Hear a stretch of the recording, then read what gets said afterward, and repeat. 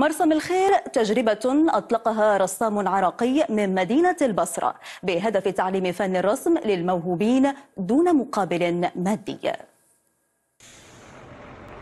مساحة للفن والأمل في بيئة عانت وتعاني كثيرا من العنف. هذا هو مركز الغدير لتعليم الرسم.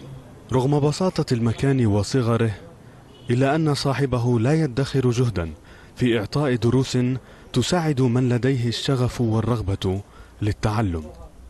بالحقيقة مرسم الغدير هو مرسم يعتبر ملتقى للفنانين بالبصرة بمختلف طبقاتهم مختلف أعمارهم آه، أكثر ما هو اسم محدد العنوان محدد. فهو آه، ملتقى ومكان تحديد مواعيد الطلعات الرسم بالطبيعة. أو جلسات الموديل أو تداول الأعمال الفنية.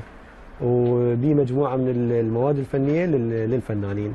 وإذا كانت الدروس مجانية هنا فإن كثيرا من إبداعات المواهب الشابة تتحول إلى لوحات تعرض للبيع لهواة الفن.